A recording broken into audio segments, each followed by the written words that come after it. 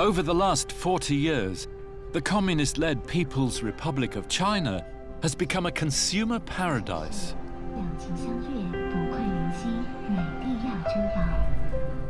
Today, in the streets of its great cities, you can see all the goods of the world on show. And that was true for much of China's earlier history. When Marco Polo came here to Hangzhou in the 13th century, he was amazed by the consumer choices on display. There were shops selling beauty products, makeup, face cream, eyeliner, false hair. You could buy pets, pet cats, cat baskets, special food. You could buy fishing tackle and games, playing cards, chessmen, darts. Chinese, Marco Polo thought, were a nation with entrepreneurship coursing through their veins. But after the Communist Revolution, China rejected capitalism. Business became a dirty word, and 40 years ago, none of this existed. So how did this great transformation happen?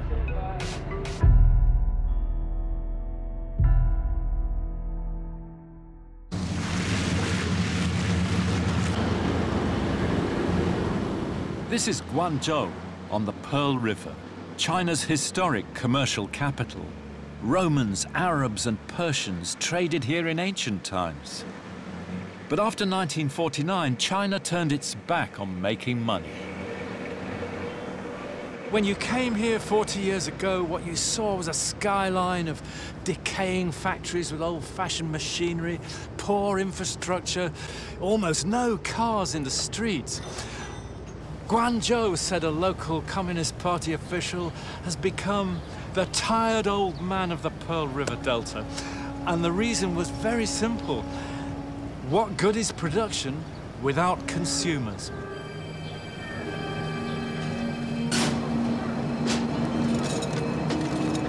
My first visit to China was 1973, and at that time, I remember in Guangzhou, there were still dog carts. There were a lot of people without clothes who were so thin that you could not, uh, you know, wondered if they were going to make it.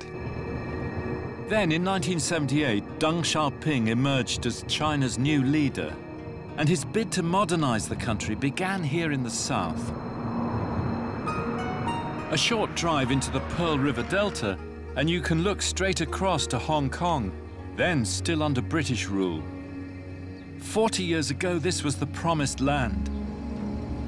This strait was the gateway to a better life for vast numbers of poor Chinese, whose dreams of wealth often ended in bitter disappointment and even in tragedy. Deng Xiaoping was briefed on the situation here on a visit to Guangdong at the end of 1977. 700,000 people, mainly young men, he was told, had attempted to cross over to Hong Kong, many of them swimming directly across. 140,000 made it. Most were turned back, but many drowned. One of the coves here became known as the Cove of Corpses. The reasons for the migration, of course, were economic. You could earn over there a hundred times the daily wage of a labourer here in Guangzhou. And the solution, as Deng Xiaoping had long known, was reform to better the lives of the people of China. So the reform would start here in the south, in Guangdong.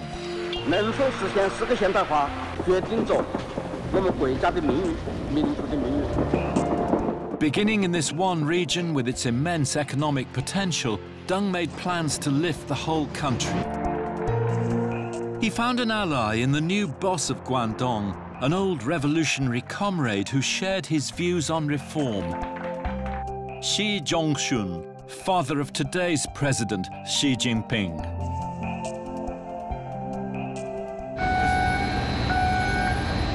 In fact, Xi Zhongxun was already making deals with local business. Here in Shenzhen, on what was then just a rocky promontory opposite Hong Kong, one local entrepreneur proposed a business plan involving foreign investment. A no-go since 1949. He had a plan, to create a breaker's yard here, where old Chinese merchant vessels, and there were lots of them, would be broken to pieces and sold as scrap metal to Hong Kong merchants the other side of the water to feed the construction boom over there. Now, of course, there, there was no space for such an enterprise, but there was here. So on the 31st of January 1979, barely a month since the plenum meeting in the Jingxi Hotel in Beijing, the deal was signed. The first foreign investment contract in the history of the People's Republic of China. And it's amazing to think that then there was nothing here at all. And just look at it now. Central government has no money, Deng said to Xi, but we can devise a policy that will allow you to forge ahead. Let's call it a special economic zone. This was totally typical of Deng Xiaoping's approach. They set up these four experimental zones near Hong Kong and Macau. And they permitted market forces to operate in those zones, but not elsewhere in the country. And when the zones were wildly successful, in large measure because Hong Kong took advantage of the cheap labor available on the mainland and moved their production facilities into these special zones. And this then became the model for the entire country. Soon the entire country was on the move. A great change in history had begun, and it came not just from top down, but from the bottom up. Fueling Deng's reform, millions of small businesses sprang up across China, and nowhere more so than a historic city on the coast of Zhejiang, Wenzhou. You can see how Wenzhou's been shaped by geography, hemmed in by the mountains, cut off from the interior. It's always been an outward-looking place. From the Sung dynasty onwards in the 1200s, its merchants have sailed down the river, up the coast to the Yangtze Delta and on to Vietnam. In the 19th century, when the Europeans established their treaty ports, Wenzhou people went out to southern Europe. Today, 90% of the Chinese people in Italy are descended from Wenzhou. So when the great opening up happened 40 years ago, this city, with its clan-based businesses, was ideally situated to take advantage of the new opportunities. And Wenzhou was the first city in China to establish a system of small private enterprise. Wenzhou would be the birthplace of China's private economy, with 130,000 small businesses, from noodle bars to China's first private airline. But the first private business certificate in 1979 was issued to a young woman selling knitting in the street, and she's still here. 那时候我们已经把小小摊在这几家门口摆了嘛，他们就过来告诉我们，就是说啊，我们现在可以 国家有新的政策了，你们也许就是就是可以做生意了啊，领取一个营业执照，个体的营业执照，拿到执照以后，我真的很高兴哦，有了这张证，有了保证一样啊，对对我们个体来，呃，个体来说呢，是一个保证。So, how did you get into buttons then? How did the button story come? 客人呢来问哦，你家有没有衣服上的纽扣有没有？后来我就一想呢，去上海，那么就去上海呢，城隍庙那边啊，那边看了一下纽扣特漂亮，我就拿个几十个过来，拿到我们温州这个小摊子，啊，大家都很喜欢啊。后来嘛，从那时候八零年以后，从那时候呢，我就是拿几百个、拿几千个，做小批量生意了，是这样的。Through the 1980s, the reform took root across China. No one had seen anything like this in history before. The energies of the Chinese people had been liberated, as Deng had hoped. Almost overnight, Shenzhen became a city of 13 million people. Now the symbol of Chinese capitalism it even opened a stock exchange.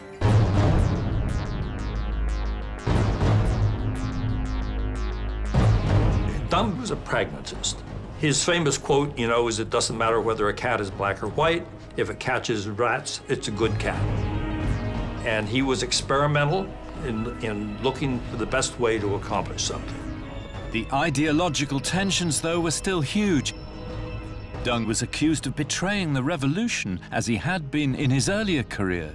And before he retired, he made a famous journey to rally the South, the dynamo of the reform process. 他就谈想到，只能到改革开放的全人阵地来，给老百姓谈，把他的思想告诉老百姓，要真的发财，要是传为们发财，你首先要解这个敢抢 敢干的问题嘛，都是发展实际道理嘛。他还是对着深圳的领导讲，你们要大胆一点。你们要发展快一点。 And they did. Today, the Pearl River Delta is the world's biggest business and manufacturing hub, responsible for a quarter of all China's exports. If it was a separate country, it would be third in the world behind the USA and Germany. And after the manufacturing companies came the new technologies. So 1999, uh, that's the, the time when Alibaba was founded. Uh, the name, that's always linked to the story, uh, Open Sesame. Uh, so Open Sesame, that means like uh, how we can, uh, from very beginning, our mission is to make it easy to do business anywhere, open the treasure. Across the whole world. Exactly, okay. Maybe like people have not realized Alibaba from day one is a kind of globalization, uh, the symbol. Because the first website of Alibaba is uh, in English. And globalization is the goal now through China's Belt and Road Initiative, linking the trade of Asia and Europe by land and sea. Only 40 years ago, this was just a scrubby shoreline in the Pearl River Delta. From the corner button shop in Wenzhou to this giant container port, modern China has come a long way. Right back in the Middle Ages, Chinese junks and Arab dhows carried the produce of China, tea and silk, and especially ceramics, to the Persian Gulf and the West. And now they're doing it again. From these container ports, uh, ships are flooding across the world. And wherever you live, whether you're in the States or Africa or Asia, there'll be something here that ends up on your table.